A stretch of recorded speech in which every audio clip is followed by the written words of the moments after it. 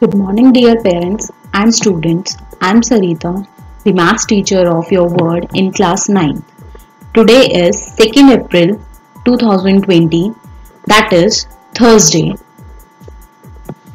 In last video, we have done the introduction part of chapter 1 and exercise 1.1.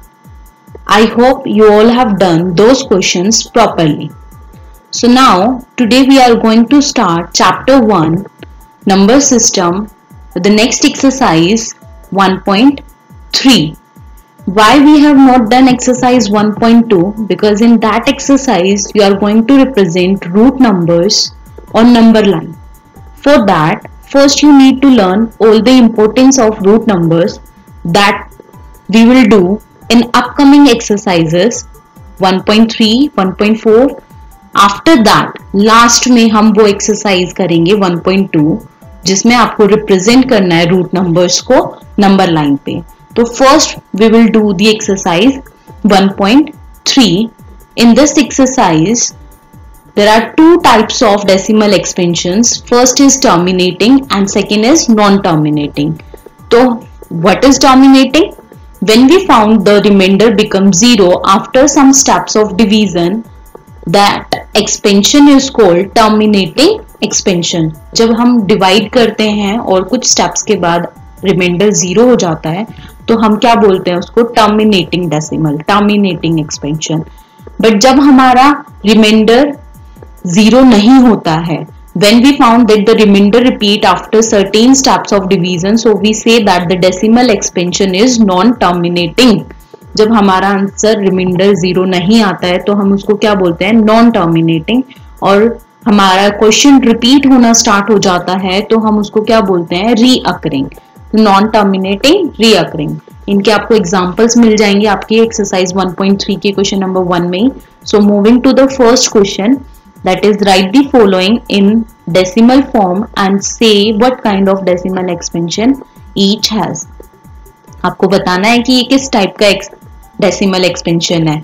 जो आपको दो decimal expansion मैंने बताए हैं टर्मिनेटिंग एंड नॉन टर्मिनेटिंग उन दोनों में से 36 six upon hundred which kind of decimal expansion so उसके लिए हम क्या करेंगे? First will divide 36 six by hundred यहाँ पे आपको आपका डिवीज़न दिखाई दे रहा है। हमने 100 से 36 को डिवाइड किया। 36 100 से छोटा है तो हम उसको डायरेक्ट डिवाइड नहीं कर सकते हैं।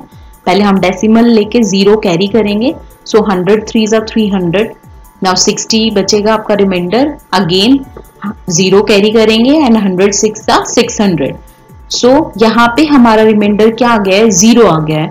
सो so, मैंने बताया था आपको कि अगर रिमाइंडर ज़ीरो होगा तो वो किस टाइप का डेसिमल एक्सपेंशन होगा? Terminating decimal So, therefore, we conclude that 36 upon 100 is equal to 0.36 which is a terminating decimal. तो ये हमारा टर्मिनेटिंग डेसिमल हो गया है बिकॉज़ इसमें हमारा रिमाइंडर जो है वो क्या आ रहा है? ज़ीरो नेक्स्ट आपके पास होगा नॉन टर्मिनेटिंग वाला एग्ज़ाम्पल सेकेंड पार्ट जो है हमारा वन अपॉन इलेवन जब हम इलेवन से वन को डिवाइड करना स्टार्ट करेंगे तो वन जो है इलेवन से छोटा है तो हमें पहले क्या करना है? अगेन डेसिमल लेके ज़ीरो कैरी करेंगे. Ten ten is also smaller than eleven तो हम क्या करेंगे? ज़ीरो कैरी करते हैं और नीचे भी हमारा क्या ज़ीरो कैरी फॉरवर्ड हो जाता है टेन के साथ तो it will become hundred now eleven nine jar ninety nine hundred minus ninety nine करेंगे तो आप वन आ जाएगा. तो अगेन आपका जो रिमाइंडर है वो वन आ गया है. फिर से आप रिपीट करेंगे डिवीज़न तो ज़ीरो नाइन आप रिपीट करेंगे एंड फिर से आपका रिमाइंडर क्या आ जाए?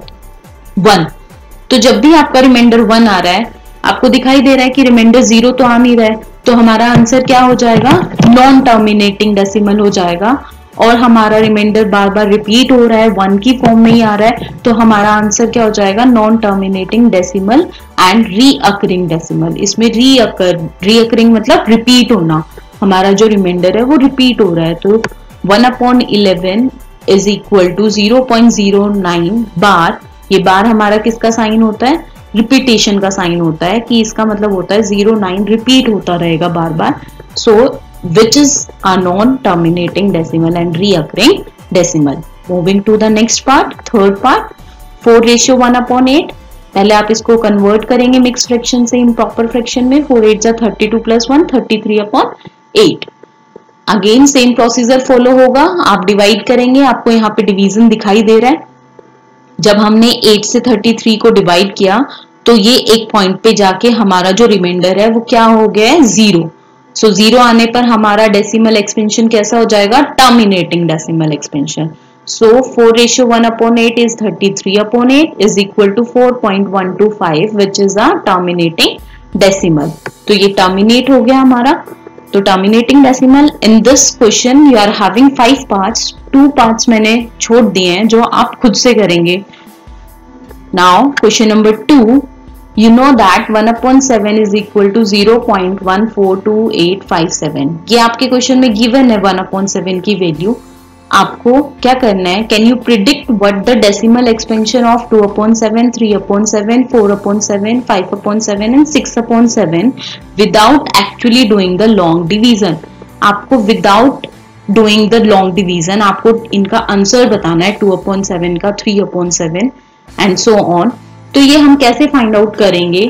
देखिए वी नो दैट हमें पता है कि हम two upon seven three upon seven four upon seven इन सारे नंबर्स को हम कैसे लिख सकते हैं? We can write these numbers like this way two multiply one upon seven then three multiply one upon seven four multiply one upon seven five multiply one upon seven and six multiply one upon seven जब हम इनको solve करेंगे तो हमें वापस अपने वही same numbers मिल जाएँगे two upon seven three upon seven four upon seven and six upon seven right तो इससे हमारे पास क्या आया? वन अपॉन सेवन जो हमारी वैल्यू ऑलरेडी गिवन है क्वेश्चन में वन अपॉन सेवन की, हम वहाँ पे उसको सब्सिट्यूट कर देंगे।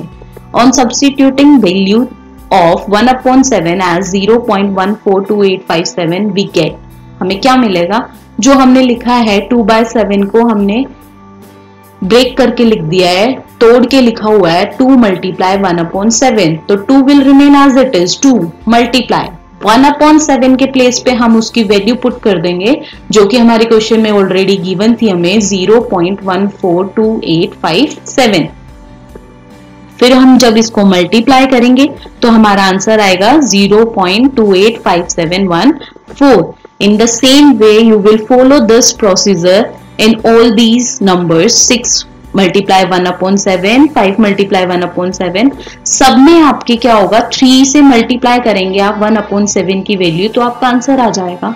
Same four multiply one upon seven के प्लेस पे आपको आपकी वैल्यूज़ चेंज करनी है and you will get your answer so इससे हमें क्या मिला? That we can predict the value of 2 upon 7, 3 upon 7, 4 upon 7, 5 upon 7 and 6 upon 7 without performing long division.